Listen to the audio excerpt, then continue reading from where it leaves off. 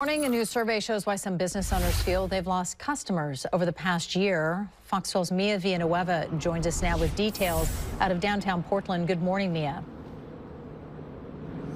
Kim, good morning. Yeah, according to that survey by Downtown Portland Clean and Safe, 79% of businesses believe they lost customers because of the reputation of downtown Portland.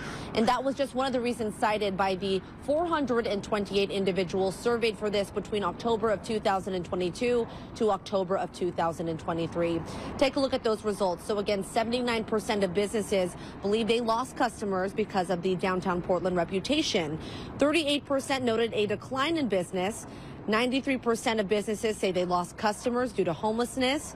84% say they lost customers to safety issues, and 17% say they lost customers because of the lingering impacts of COVID-19.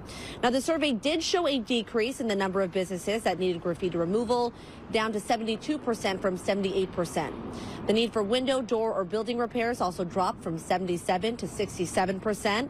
Employees quitting due to safety concerns also decreased from 50% to 45%.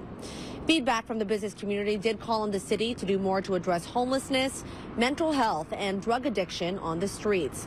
However, 73% of businesses did respond saying that they plan on staying in that area in the downtown Portland Old Town area.